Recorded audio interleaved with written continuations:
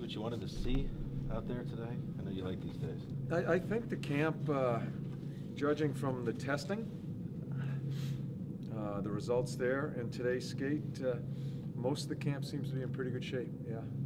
Some guys are a little bit behind, but uh, I think they'll get caught up to speed here pretty quickly. How do you decide when to end the drill over there?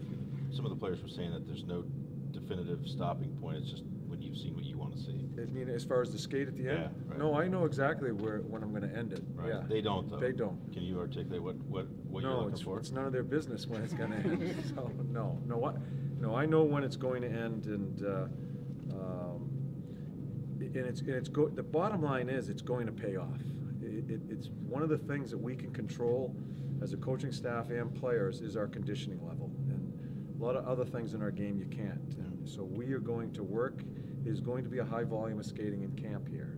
That's why we have it broken down in such small numbers into four groups, so they get more reps with the puck and, uh, and, and we're allow, allowed to get to them as far as pushing them physically. So I thought it was a really good day.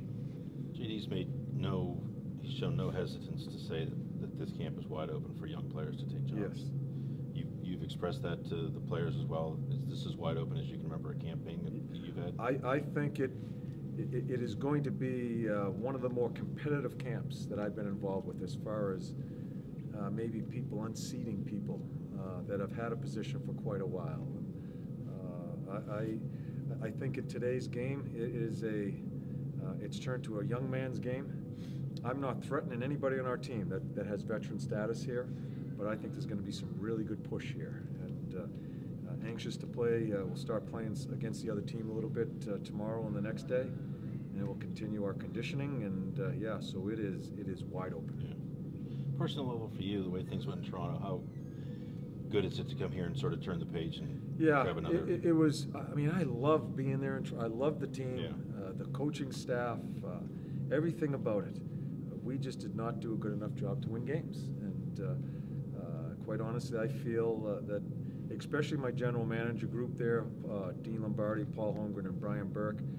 I, I feel I let them down in, in where we didn't accomplish what we wanted to accomplish. Uh, uh, uh, you know, other than other than not getting a result, I thought it was a great experience to be involved with those athletes and everybody around us. And, hey, you, gotta you gotta drive through the adversity and, and some of the things that come at you when you don't win. That's all part of this, and I think it's going to make USA hockey better in the long run. Was it easier for you to have this to jump right into rather than to sit around and? Yeah, I, I drove. I drove out of there yesterday morning. Uh, I didn't want to fly. I, I just I rented a car and drove. Uh, just to, yeah, yeah, but it was a good drive uh, to to assess that and also get geared up for this here. So I, I'm very fortunate to jump right into this because you know you're disappointed and, and you're a little aggravated that you didn't do the things you want to do in that type of tournament. Said you're not threatening any uh, veteran players by any means, but what do you see out of your uh, veteran players and, and their approach uh, and how they've showed up ready to go here? Oh, I, I think I think most of the guys uh, have done their work during the summer. Uh, we we filled them. We gave them all the information they needed at the end of the year as far as what to expect during camp, our testing days, plus the volume of skating within our camp.